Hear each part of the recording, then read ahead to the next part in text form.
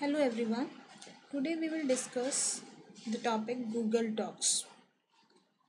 Google Docs is a product or application of Google which is used to create and share our documents. There are three ways to open the Google Docs. First one is you log in to your Gmail ID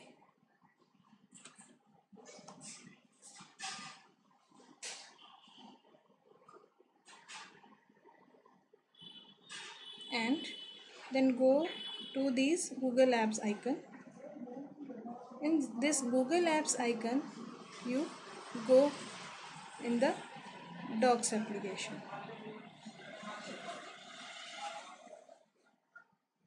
Right? We don't want to take a tour. Now here you can create a Google document, a blank document which is created uh, by clicking on this particular plus button or you can use any type of templates given here to create a document. Right?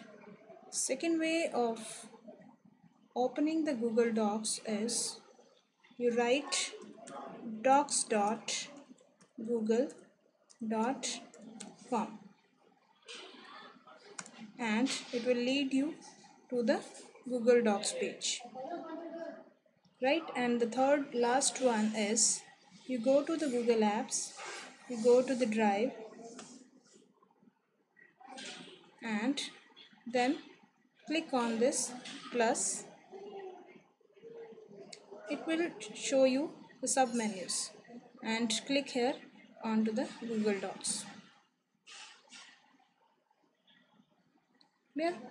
Thus, these are the three ways to open the Google Docs and after opening the Google document, a blank document, you can create your document here. You can create your presentation, whatever you want to create in a document form and you can share it to the public or particular persons you want to share it by clicking on this share button. Thank you.